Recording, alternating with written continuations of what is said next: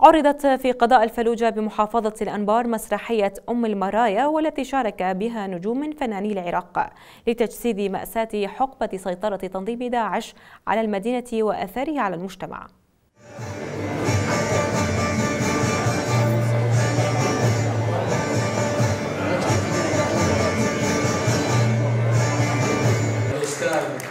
ناهي مهدي. والنجم محمد هاشم. وعلي نجم الدين. شكرا جزيلا لجمهور الفلوجة. اليوم الحقيقة عرضنا مسرحية أم المراية عمل شعبي وطني. كتب الكاتب الكبير أستاذ حسين النجار غانم حميد وبنخبة طيبة من ممثلي المسرح العراقي ناهي مهدي هناء محمد محمود شنيشل آه علي نجم الدين محبة. العمل الاجتماعي يدعو إلى المحبة إلى التسامح إلى السلام تجربة جديدة على مستوى المسرح الشعبي. بالنسبة لي قدمت أربع نماذج مختلفة من الشخصيات. سعيد بهذه التجربة.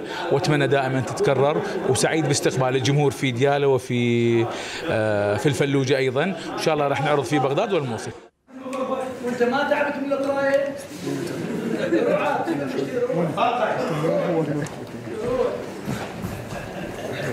ابو البابا ابن عمتك صالح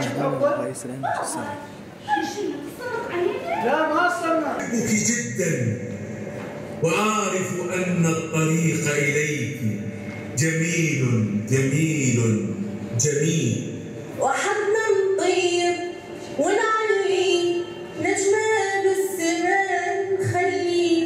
ونرسم بالهوى حبنا آه، حقيقة اليوم كان هناك عرض مسرحي بعنوان آه، أم المراية لكن بصراحة جعبت هذا العمل آه، آراء كبيرة ومقترحات كبيرة ومآسي كبيرة مرت بها محافظات العراق وخصوصا المحافظات التي تعرضت لنكبة النزوح لنكبة آه، العمليات العسكرية التي حصلت بها.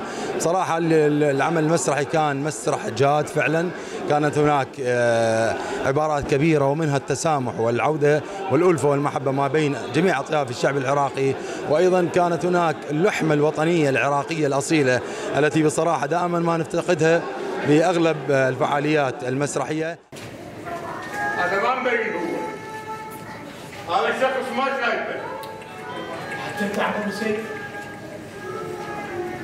وهذا كتاب ولده احكي ليش تسكت؟ عم أبو سيف اعذرني سامي. الله يسامح وهو أرحم الراحمين. الله. شنو يعني؟